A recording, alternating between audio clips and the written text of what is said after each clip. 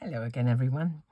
Um, I am trying to get round to acknowledge all the wonderful messages for my birthday yesterday. So, i'm a bit overwhelmed, really. But thank you so much, everyone who's taken the trouble to send a message. It was really, really, really heartening. Um, so, today I'm going to do a really short video because I've still got a lot more to get round to, to, to acknowledge. And I thought I would sort of paraphrase one of the cards I had for my birthday. In fact, it was it was from my husband. These are the words that were on there. She was confused. The cookbook clearly said use leftover wine. Leftover wine? There's not much leftover wine in our house, I have to say. This image that I found on my computer is one that was by Bugaboo, um, Bugaboo Digital Stamps, whom sadly are no longer trading. Um, I just loved their humour. So here's a lady with doing some cooking and she's got a glass of wine. So I thought it would go quite well with the um, the sentiment.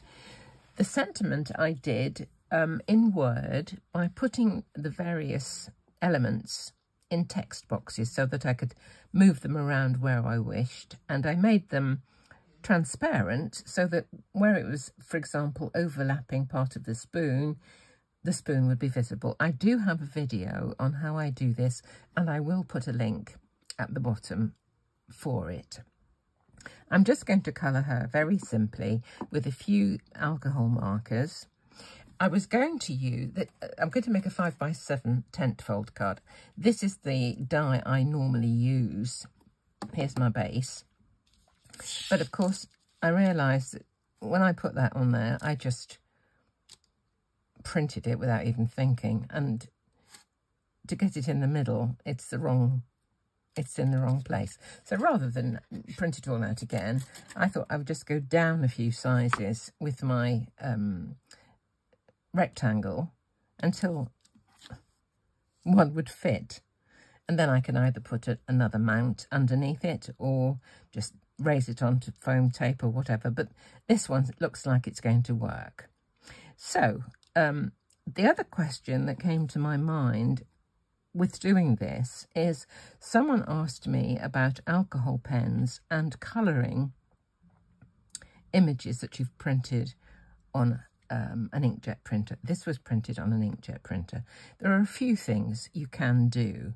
One is try to be really careful and not go too much over the lines.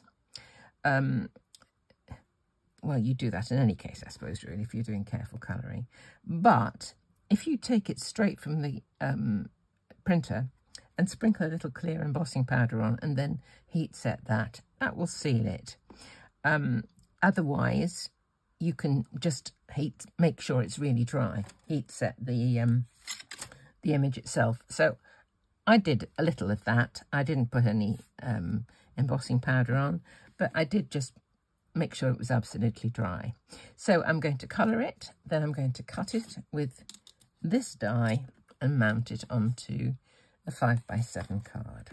So what I think I'll do is I'm just going to use basically two colours, which are red and black, um, plus a skin tone.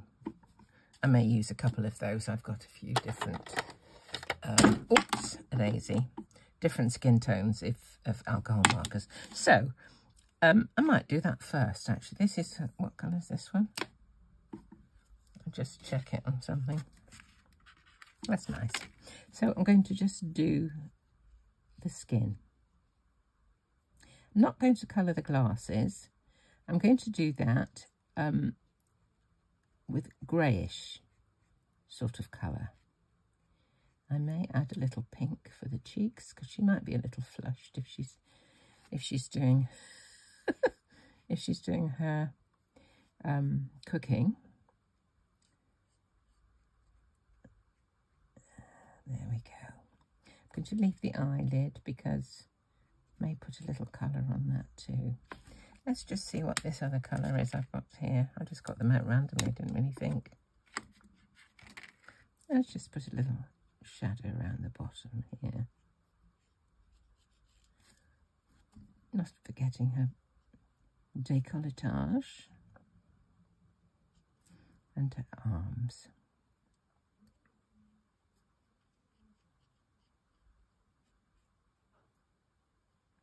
Do some of the,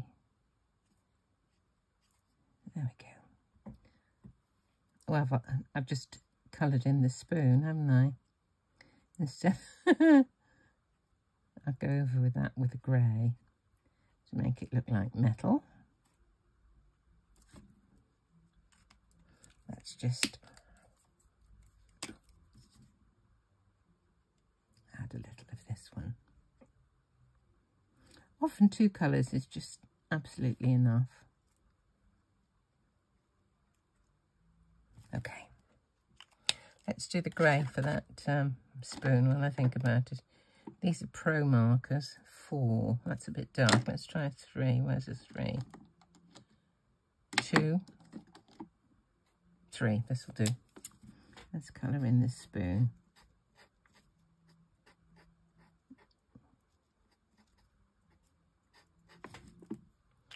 Can maybe put a little bit of the darker one as well. That's four. Okay. There we go. Now, let's do, um, I think I'll have the, um, the turban thing white with red spots. I think that's what we'll do. So I'll just put a little shading on each of the spots.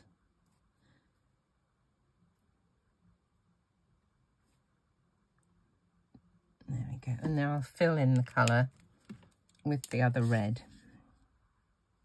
I nearly always use the same combo of reds.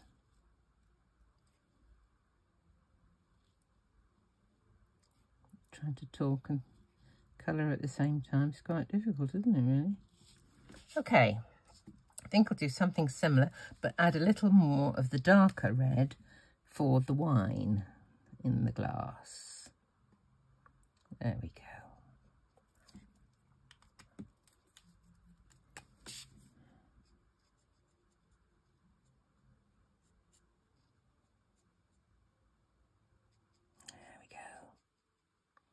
Blend it across. Right.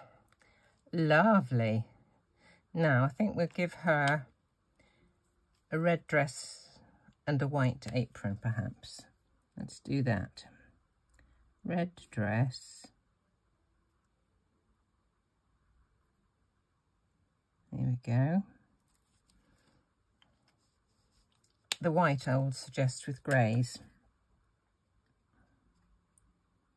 Often in clean and simple, just to keep the colours very, very limited is, a, you know, a good thing. Okay, there's her dress. Now I'll just do a little shading. Where's the one? Where's my one? Here's one. So we'll have a little shading around here.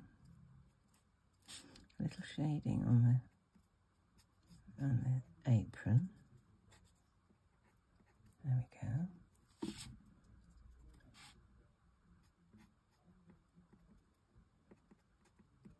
It's just a suggestion a lot of the time. You don't actually have to do too much, really.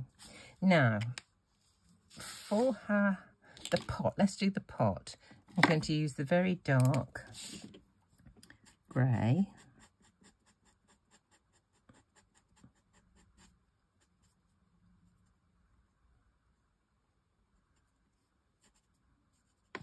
Okay. Where are we? Four. Let's have four. That's a five, now a four. Let's go over those. Tiny bit there.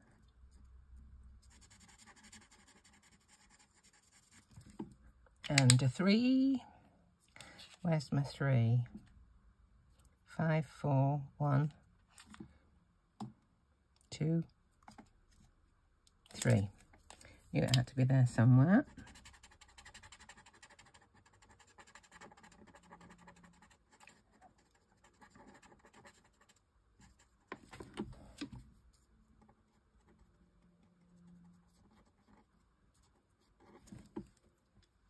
I'm just going to put a gentle, tiny bit of white, of number one rather.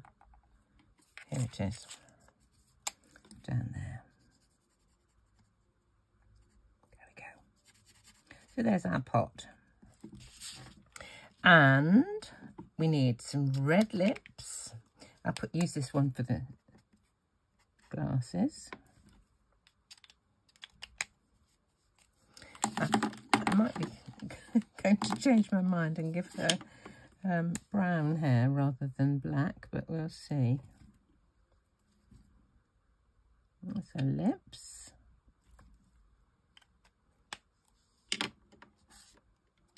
Perhaps I will give her brown hair. Let's get a couple of browns here. Let's just check. Where's my spare? Here we go. I used to have all of these done in um, on the chart, but kind of not quite sure if this is her hair, but it's going to be her hair now.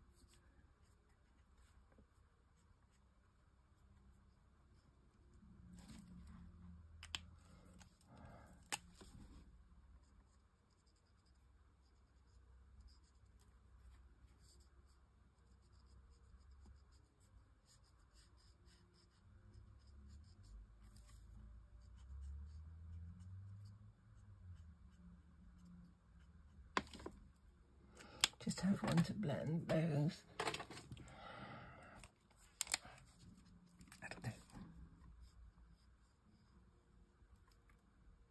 There we go.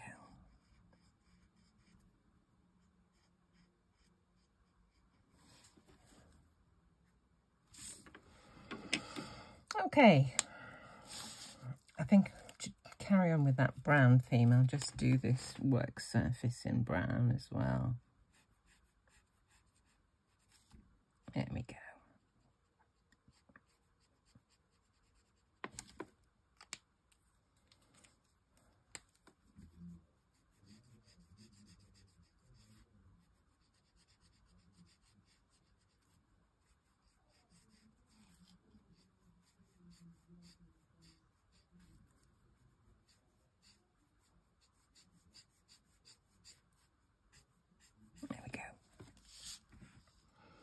That's going to do. So now I'm just going to cut this out with that and pop it onto the front of my card and it's done.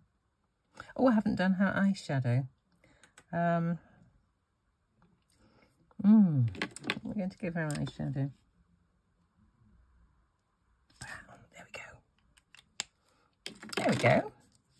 Right, I'll just cut this off so that I can fit it through my um, silhouette here. There we go. She was confused. Let's just get this. Looking at the spaces either side. Right, there we go. It's not going to go very long that way.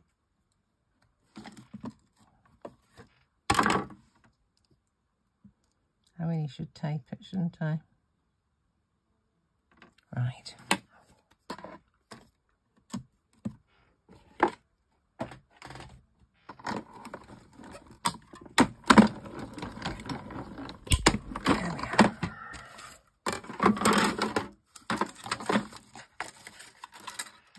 So there's my card base.